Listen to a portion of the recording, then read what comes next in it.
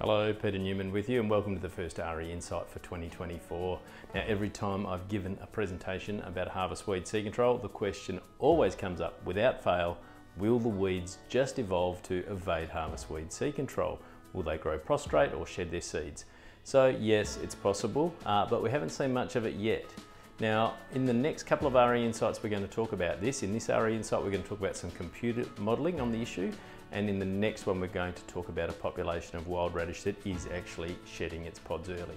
So firstly, the computer modelling. So Dr. Mike Ashworth and Gayle Somerville teamed up to develop a computer model to predict wild radish flowering time under selection. So a few years ago, Mike Ashworth essentially bred early flowering wild radish by selecting early flower, flowering radish, crossing them with one another and found some radish that evolved to flower after just 29 days, which is about half the normal flowering time. Now in this study, he and Gayle developed a computer model to look at that under field conditions, not that ideal sort of breeding conditions.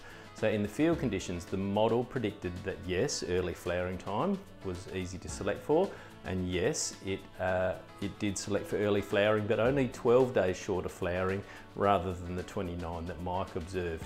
And also the model found that the early flowering didn't really happen as long as there was diversity in the system. If herbicides were working well, if growers were using all of the Weed Smart Big 6 for example to control weeds, then that selection for early flowering didn't really happen in the computer model.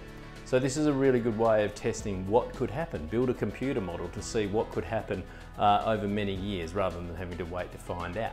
So great bit of work by Mike and Gayle and we'll talk in, in our next edition of AHRI Insight about the wild radish that is dropping its pods. But for more information, take a look at AHRI Insight.